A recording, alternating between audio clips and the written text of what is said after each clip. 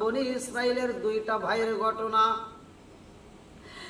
এক ভাই মূর্তি পূজা করে গো, এক ভাই শয়তানের অনুসারী হয়ে গেছে, আর একটা ভাই আমার আল্লাহকে বিশ্বাস করে হে গো, আল্লাহর উপরই মানাই না বলাইছে।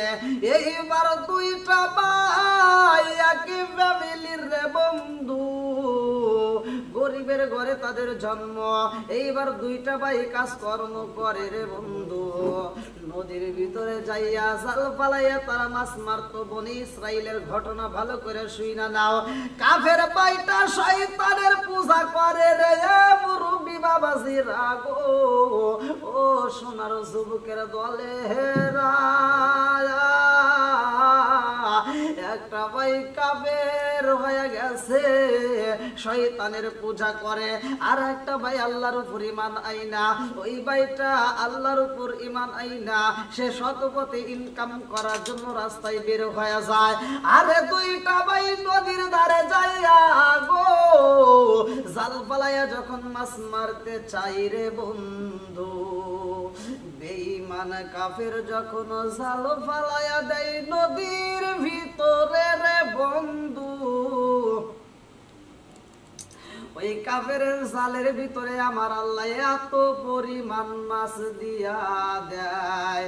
যে জালটা একা তোলা সম্ভব হয় না। আশেপাশে মানুষরে ডাইকা ডাইকে নিয়ে আসে। কে কোথায় রইলা পথচারী, একটু আমার সহযোগিতা করো। আমার জালে এত পরিমাণ মাছ আসে গো। এই জালটাই আমি একা ডাঙ্গায় তুলতে পারি না। পথচারীদেরকে ডাইকা ডাইকা বলে, তোমরা একটু সহযোগিতা করো। পথচারীরা বলে, ব্যাপার কি তোমার জালে এত মাছ দেখা যায়? অপর পাশে আর একজন ব্যক্তি মাছ মারে। গো! ওই ব্যক্তিটা জাল ফলাই অত সোনার জালে একটা, দুইটা মাছ ওঠে। বেশি মাছ দেখা যায় না। কারণটা কি? এই কাপের বেইমান এই বেইমান ভাইটা বলে, ওনার কথা বাদ দাও। ওনারে আমি বলেছি, আমার সাথে তুমি চলবা আমার সাথে মিশবা আমি যেই কাজগুলো করি, তুমিও সেই কাজ করবা। আমি যেই পূজা করি গো, তুমিও সেই পূজা করবা। যদি করতে পারো, তোমার জালে এত পরিমাণ মাছ উঠবে, যেই সালটা তুমি একা ডাঙ্গাই তুলতে পারবা না, সে আমার কথা মানে না। এই বেঈমান মাছগুলো বিক্রি করে গো। এত সম্পদ হয়ে যায়, ধীরে ধীরে অনেক সম্পদ হয়ে যায়। তার বাড়িতে বিবিরে স্বর্ণের গহনা দিছে গো। দামি দামি শাড়ি দিছে, অলংকার দিয়া সাজাইছে, বাড়িটা সাজাইছে। কিন্তু মুমিরে বান্দার ঘরে খাবার নাই। ওই মুমিন বান্দা বাড়ির ভিতর ভালো খাবার নিতে পারে না গো। তার বিবির একটা ভালো গহনা দিতে পারে না, বিবির একটা ভালো লাল শাড়ি দিতে পারে না। এইবার বিবিটা বিবিটা গোসল কইরা গো, কাপড়গুলো সাদে নিয়া, যেই কাপড়গুলো পরিষ্কার করা হয় সাদে নিয়া রোদে শুকানোর জন্য নিয়ে যায়। নিচের দিকে তাকায়া দেখে অপর ভাইয়ের, ছোট ভাইয়ের যেই স্ত্রীটা, আরে এত সুন্দর গহনা পরছে, এত দামি শাড়ি পরছে গো। সুন্দর পোশাক পইরা, সুন্দর অলংকার পইরা, সাইজা পরীর মতো কইরা রাস্তার ভিতর বের হয়েছে এই দৃশ্যটা দেখা, ইমানদার ব্যক্তির বউ তাকায়া দেখা চিন্তা করে, মনে মনে ভাবে, আরে ওই রকম গহনা যদি আমি পাইতাম ওই রকম দামি শাড়িগুলো যদি আমি পাইতাম। আমি যদি ওই দামি গহনাগুলো আমি, আমার হইতো, আমি কত আনন্দতে হইতাম, আমি কত খুশি হইতাম, আমার কত ভালো লাগতো। এই কল্পনা সল্পনা কইরা গো, ওই বেইমানের স্ত্রীর দিকে তাকায়া তাকায়া রয়েছে রে বন্ধু। এইবার বেহিমানের স্ত্রী উপর দিকে লক্ষ্য করে দেখে আমারে, তার ভাইয়ের স্ত্রী আমারে ফলো করে। এইবার বেইমানের স্ত্রী এইবার ওই ভাবির দিকে লক্ষ্য করে বলে আপা আমার এত সুন্দর পোশাক, আমার অলংকার দেখায় আপনি হিংসা করবেন না। এগুলো দেখে আফসোস করলে কাম হইব না, কারণ আপনার স্বামী তো ইনকাম করতে পারে না। ও, আপা জানেননি, আমার স্বামী অনেক ইনকাম করে, আমার স্বামীর কোনো কিছুর অভাব নাই, আমার স্বামী এই জন্য আমার দামি দামি পোশাক দেয়, দামি দামি গহনা দেয়, দামি দামি খাবারে নিয়ে আসে। এইবারে ইমানদারের স্ত্রী কষ্ট পাইছে গো। ঘরের ভিতরে যাইয়া চোখের বালি সাইরা দিয়ে কাম দিয়ে এমন ঘরে আইলাম। আমার তো ভালো একটা গহনা পাই না, ভালো একটা শাড়ি পাই না, মনের ভিতর মানে না। বেইমানের স্ত্রী এইবার ওই কাফের কাছে বলে জাননি আমার এই পোশাকে দেখায় আমার গহনা দেখা তোমার ভাইয়ের স্ত্রী আমার দিকে লক্ষ্য কইরা তাকায় দেখে আমার দেখা বুঝি তার ভিতরে হিংসা লাগে। এই বেইমান বুঝাই বিবি রে ও, বিবি জানো শুনি আমার বাইরে আমি এত বুঝান, বুঝাই আমার বুঝে মানে না। আমি ওরে বুঝাইছি, তুমি আল্লাহর ইবাদতে সাইরা দাও। তুমি দেব দেবীর পূজা করবা, শয়তানের অনুসরণ যদি করতে তোমার মাছের অভাবও হবে না, রিজিকের অভাবও হরে হবে না। ওরে বুঝাইছি আমার বুঝ মানে না, তুমি ওর স্ত্রীরে বুঝাইয়া দিও। পরের দিন ইমানদারের স্ত্রী যখন সাদে উইঠা, কাপড় শুকাইতে দিছে গো। বেঈমানের স্ত্রী, এইবার বেঈমানের স্ত্রী দামি দামি পোশাকে দামি দামি গহনা পইরায় আবার রাস্তায় বের হয়ে যায়। মাঠের ভিতর দিকে, বাবির দিকে লক্ষ্য করছে, ও আপা ও আপা জানবনি আমার গায়ে এত পোশাকে, আমার গায়ে এত দামি গহনা গয়াপা আপনি কি এগুলো পাইতে চান? বলে, আমি কেমনে পাবো? আমার স্বামীর ইনকাম নাই। আমার স্বামী মাছ মারতে গেলে একটা, দুইটা মাছ পায়। ও তা ওই মাছগুলো দিয়ে তো আমাদের সংসার চালে, চলা, পরিচালনা করা যায় না। আমার স্বামী যে ইনকাম করে, ওই ইনকাম দিয়ে তো আমরা চলতে পারি না গো। দামি গহনা কোথায় পাবো, দামি শাড়ি কোথায় পাবো, এটা সম্ভব না। এইবার বেহিমানের স্ত্রী বোঝায় আপাগো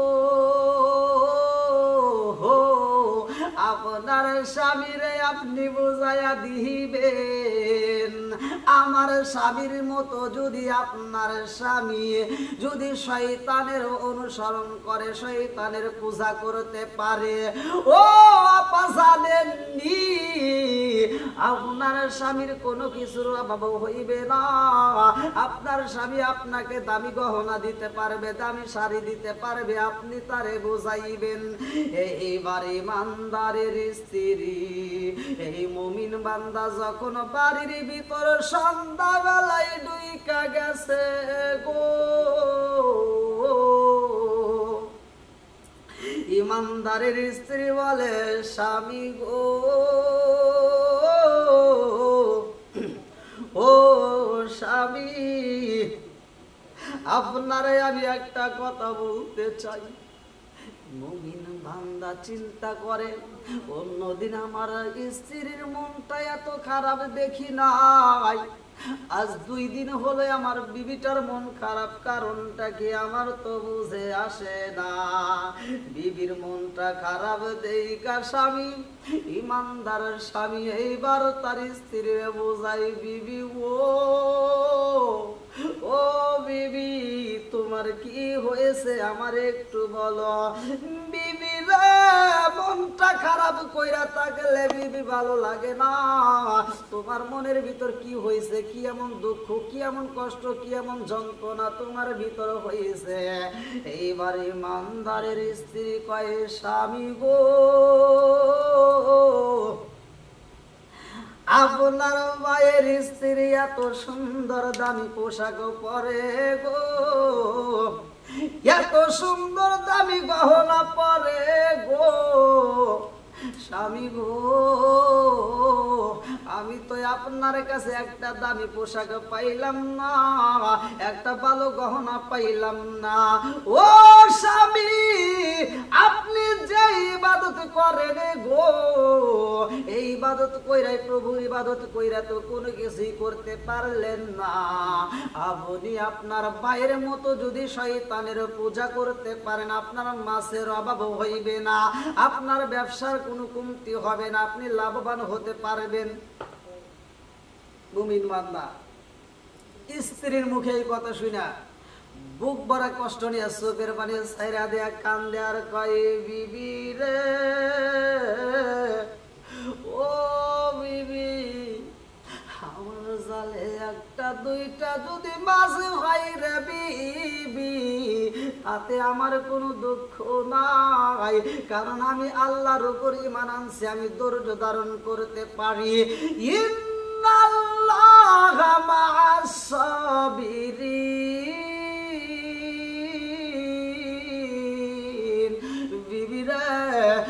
ধৈর্যশীলদের সাথে আর কেউ না থাকলে আমার আল্লাহ থাকবে। ও বিবি, মনে কষ্ট নিও না। বিবি বোঝায়, স্বামী গো ও, স্বামী গো, আপনি আমারে আপনার ভাইয়ের মতো আপনি কাপের হয়ে যাবেন। আপনার মুমিন থাকতে হবে না। আপনি কাপের হয়ে যাবেন আর তা না হইলে আমারে তালাকে দিয়া দিবেন। মুমিন বান্দা কান্দে আর কয়ে, বিবি রে, ও বিবি, তুমি কি আল্লাহরে ভয় পাও না? ও বিবি, তুমি কি আল্লাহরে ভয় পাও না? এইবার মুমিন ব্যক্তির স্ত্রী কান্দার কয়ে, স্বামী গো দামি একটা স্বর্ণ দিতে পারলা না, আমার দামি একটা শাড়ি দিতে পারলা না, আমি তো কিছুই তোমার কাছে পাই না। মুমিন বান্দা কান্দার কয় বিবি রে? ও বিবি কান্দ না আমি আগামী কাল থেকে কাজের জন্য রাস্তায় বের হব। আমি প্রতিদিন কাজ করে তোমাকে প্রতিদিন দুই দিরহাম করে দেব। এইবার স্ত্রী বলে, আমাকে প্রতিদিন যদি তুমি দুই দিরহাম করে দিতে পারো গো, সেইগুলো আমি জমাই আমি সুন্দর শাড়ি কিনবো, অলংকার কিনবো। এইবার পরের দিন মুমিন বান্দা রাস্তায় বের হয়ে যায়, কাজের তালাশে, কাজ তালাশ করে, কাজ পায় না। এইবার বনি ইসরায়েলের মুমিন বান্দা কাজের জন্য রাস্তায় বের হয়ে কাজ তালাশ করে, কাজ পায় না। রাস্তায় রাস্তায় করে বাজারে যাইয়া ঘুরে গো।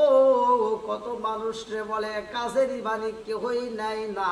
সারাটা দিন সইলা যায়। কাজ পাই না সন্ধ্যার আগ মুহূর্তে নদীর দ্বারে বৈশা। মালিকের দরবারে সিজদা দিয়া কান্দার কয় মালিক, ও দয়ার আল্লাহ গো। এই জমিনে আমি কাজ তালাশ করলাম, আমি কাজ পাই না। আমার তো কেউই কাজ দেয় না, আমার বিবিরেও তো আমি বুঝাইতে পারি না। মালিক গো, আমি তোমারে ভালোবাসি, আমি তোমার ইবাদতি করি। ও দয়ার আল্লাহ, আমি তোমারে ভালোবাসি গো আল্লাহ। আমার বিবি বোঝে না, আমার বিবি তো আমার কথা মানে না। আল্লাহ সে তো দর্জন মানে না মা বুধি ও। দুনিয়ার বুকে আমি কাজ পাই না। আমি তোমার প্রেমে হইয়া গেলাম দিওয়ানা। আমি তোমার প্রেমে পাগল হইয়া গেলাম। আল্লাহ, তুমি যদি আমার পারিশ্রমিক দাও, তবে আমি পারিশ্রমিক পাবো। তাছাড়া দুনিয়ার পারিশ্রমিকের আমার দরকার নাই। এইবার মুমিন বান্দা নদীর দ্বারে বৈশা গো। নদীর কিনারায় দুইটা চোখের পানি সাইরা দিয়া কান্দার কয় মালি ও মালিক আমি তোমার ইবাদত করি গো আল্লাহ। আমি তোমার এতটাই ভালোবাসি রে আল্লাহ।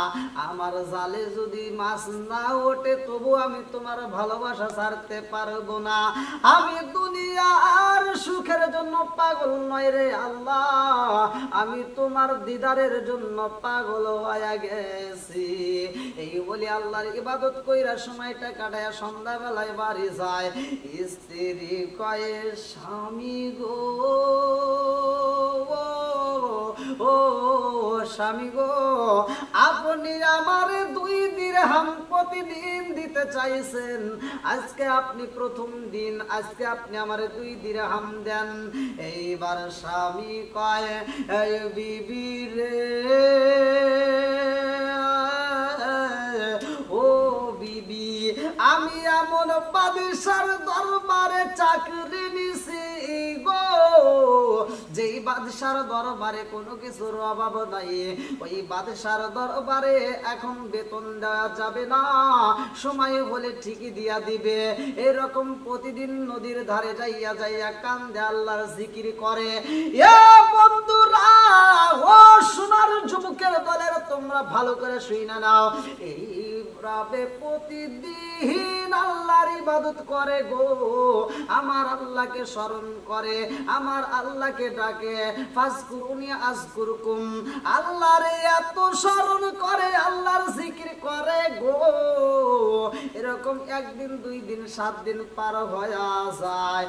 বিবি কয়, স্বামী গো, আপনি আমারে দুই দিনে হাম করে প্রতিদিন দিতে চাইছেন। সাত দিন পার হয়ে যায়। আপনি তো আমারে দেন না কারণটা কি? স্বামী বোঝাই বিবি ও বিবি। আমি এমন বাদশার দরবারে চাকরি নিছি গো। বাদশার দরবারে কোনো কিছুর অভাব নাই, সময় হলে ঠিকই দিয়া দিবে গো। চিন্তা করো না, আল্লাহর উপর ধৈর্য ধারণ করো। এইবার স্বামী নয়, উনত্রিশ দিন পর্যন্ত যখন নদীর ধারে যাইয়া নদীর কিনারায় বৈশা বৈশায় আমার মাওলারে ডাকে রে। চোখের পানি সাইরা দিয়া কান্দে, যুবকের মুখে হাসি নাই শুধু নদীর কিনারায় আইসা চোখের পানি সাইরা দিয়া কান্দে। আমার আল্লাহ কয়ে ফালিয়া তো হাকু কলিলা ওয়ালিয়া বুকু কাসির। বান্দা তুমি কম করে হাসবা, বেশি করে তুমি চোখের পানি ফালাইবা। আরে চোখের পানির এত দাম, চোখের পানির এত পাওয়ার রে বন্ধু। চোখের পানি দেয়া জাহান নামের আগুনটা পর্যন্ত নিবা যাইব। জাহান নামের আগুন দুনিয়ার কোনো কিছু দেখা ভয় পায় না। জাহান নামের আগুন মানুষ দেখে ভয় পায় না। জাহান নামের আগুন কোনো কিছু দেখে ভয় পায় না। জাহান নামের আগুন একটা মাত্র জিনিস দেখে ভয় পায়, সেটা হলো কিতাবের ভিতর আছে চোখের পানি। এই চোখের পানি দেখলে জাহান নাম ভয় পায়। চোখের পানি দেখলে আল্লাহর জাহান নামটা এত ভয় পায়। জাহান নাম মাওলার দরবারে কান্দার কয় আল্লাহ আল্লাহ গো, আমার ভিতর তোমার যা মনে চাই সব দিবারে আল্লাহ, একটা জিনিস তুমি আমার ভিতর দিবা না। আল্লাহ কয়, তোমার ভিতর কি দেব না? জাহান নাম কয় আল্লাহ গো, মুমিন বান্দার চোখের পানি আল্লাহ, আমি জাহান নামের ভিতর দিও না। আর আমি জাহান নামের ভিতরে ইমানদার ব্যক্তির চোখের পানি যদি একটা ফুটা পালায়া দাও রে আল্লাহ জাহান নাম এমন ভাবে বন্ধ হয়ে যাব। আমি জাহান নাম এমন ভাবে নিবে যাব, আর দ্বিতীয়বার কিন্তু আমি চলতে পারব না। এই চোখের পানির এত দাম, একদিন নয়, দুই দিন নয়, উনত্রিশ দিন পর্যন্ত নদীর কিনারায় বৈশা চোখের পানি সাইরা দিয়া মাওলারে ডাকেছে রে বন্ধু। উনত্রিশ দিনের মাথায় রাত্রি বেলায় স্ত্রীতে স্বামীরে বোঝায়, স্বামী গো উনত্রিশ দিন পর্যন্ত আমি অপেক্ষা করলাম। আপনি তো কোনো ব্যবস্থা করতে পারলেন না। আগামী কাল যদি আমারে, আমাকে যদি আপনি পাওনা পয়সা না দিতে পারেন গো, আগামীকাল আমারে আপনি তালাকে দিয়া দিবে না। আমি আপনার ভাত খাব না, আপনার কাছে থাকতে পারব না। উনত্রিশ দিনের মাথায় যখন স্ত্রী বইলা দিছে, গো, আগামীকাল যদি আপনি আমার মুসরি না দিতে পারেন, আপনি আমার তালাকে দিয়া দিবেন। এইবার ইমানদার ব্যক্তির মনের ভিতর আর শান্তি নাই। মুমিন বান্দারা চোখে ঘুম নাই। সারাটা রাত চোখের বাড়ি বেলায়া দিয়া কান্দে গো সকাল বেলায় কি হুদির বাড়িতে যাইয়া বলে বাইরে ভাই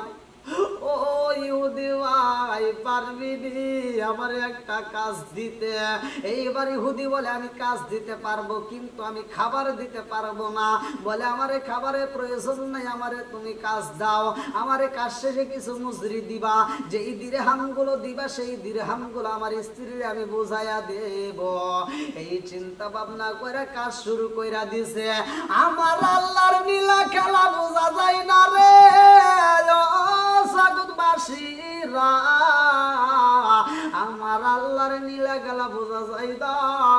এইবার আমার আল্লাহ একজন ফেরেস্তারে পাঠাইয়া দিছে এক ব্যক্তি এইবার ওই ইমানদার ব্যক্তির বাড়ির ভিতরে যায়।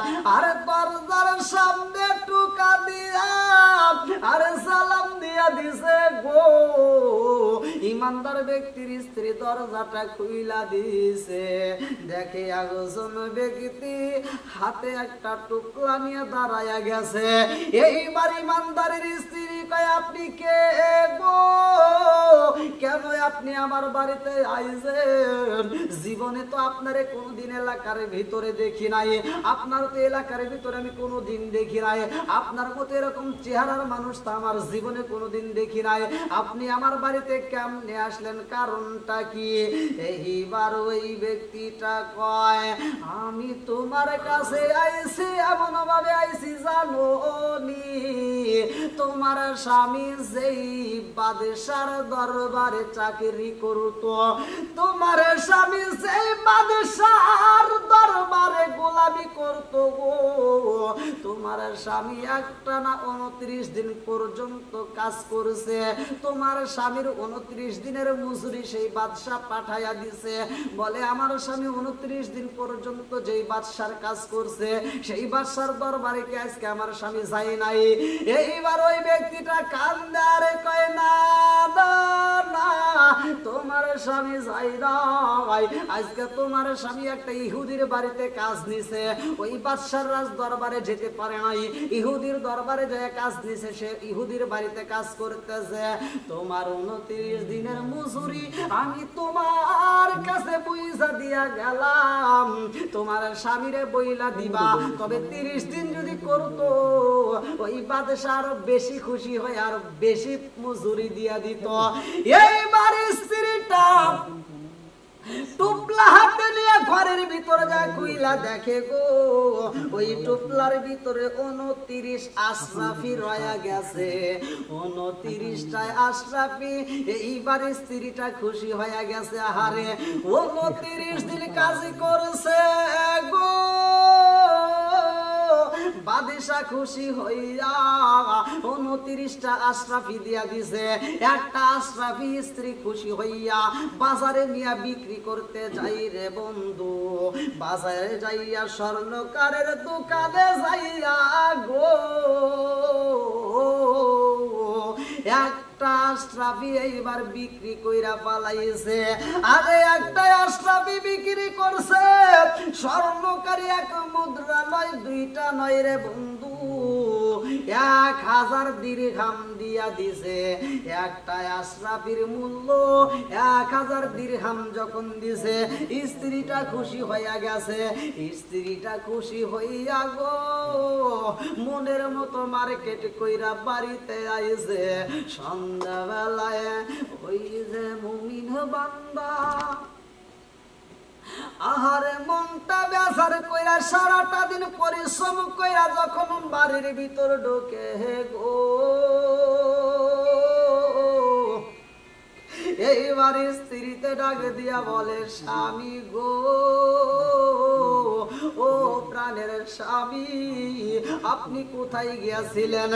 সেই বাদেশার দরবারে আপনি উনত্রিশ দিন ডিউটি করছেন ওই বাদেশার দরবারে, আপনি কেন যান নাই?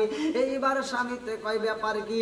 আমি যেই বাদেশার দরবারে উনত্রিশ দিন ডিউটি করছি, এই খবর তুমি কেমনে জানলা? এইবার স্ত্রী কয়, স্বামী গো, ওই বাদশার দরবার থেকে লোক আসছে, আপনাকে উনত্রিশ দিনের মজুরি দিয়া গেছে, উনত্রিশটা আশরাফি দিয়া গেছে, আমি একটাই আসে রাফি বাজারে বিক্রি কইরা পালাইছি। আরে এক হাজার দিরহাম দিয়া দিছে। স্বামী গো ওই বাদশার লোক বইলা দিছে। আপনি ওই বাদশার কাছে আজকে যান নাই। আপনি ইহুদির বাড়িতে কাজ করছেন কারণটা কি? এইবার স্ত্রীটা এই কথা বলার সাথে সাথে স্বামীটা কান্দে আর কয় আল্লাহ গো। আমি বড় ভুল কইরা ভালাইছি রে আল্লাহ। আমি তোমারে ভালোবাসতাম। আল্লাহ গো, আমি তোমার প্রেমে পাগল হয়ে উনত্রিশ দিন ডিউটি করার কারণে রে আল্লাহ। আমারে তুমি এই পাওনা দিয়া দিছাও। প্রেমের আগুন, জলে দ্বিগুণ রে দয়াল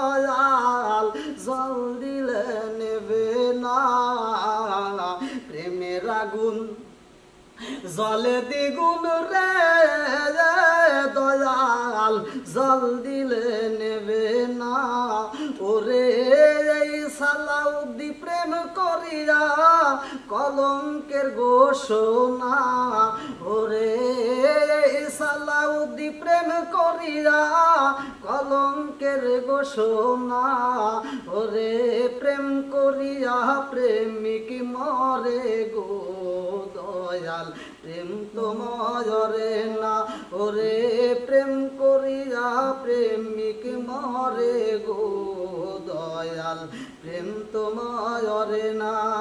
ওরে প্রেম করিয়া প্রেমিক মরে গো দয়াল। প্রেম তো মজরে না। প্রেম হাসায়, প্রেম কাদাই গো দয়াল। এই কি প্রেমের পাওনা?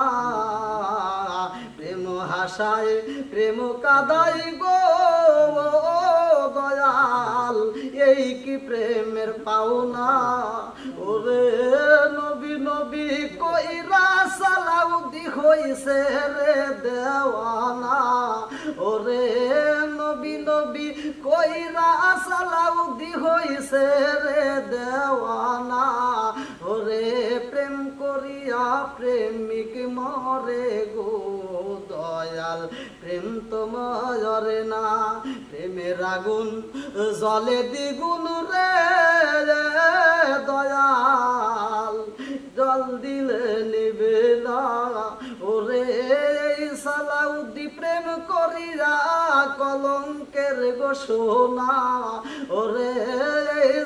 সালাউদ্দি প্রেম করিয়া, কলঙ্কের ঘোষণা, প্রেম করিয়া প্রেমিক মরে গো দয়াল। প্রেম তো ময়রে না হরে প্রেম করিয়া প্রেমিক মরে গো দয়াল, প্রেম তো ময়রে না। এ আমার মুরব্বী বাবা, ও সোনার যুবকের দলের আগো। ওই মুমিন বান্দাটা চোখের পানি ছাইরা দিয়া কান্দে, আর কয় আমি তোমার দরবার সাইরা গো।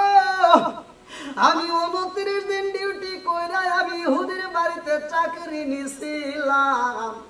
আল্লাহ বাকি জীবনটাই আমি অন্য কোন দরবারে যাব না। জঙ্গলে যাইয়া তোমার ইবাদত কইরাই আমার বাকি জীবনটা কাটাইয়া দেব। এই বইলা জঙ্গলে যা পাগল পারা হইয়া, ওই ব্যক্তিটা আল্লাহর জিকিরে মশগুল থেকে বাকি জীবনটা কাটাইয়া দেয়। এ মুরব্বী বাবা, ও সোনার যুবকের দলে রাগো আল্লাহর পরিমাণ আনতে হইবে, ধৈর্য ধারণ করতে হইবে। যদিও সংসারে অভাব তাকে তবু ধৈর্য ধারণ করতে হবে।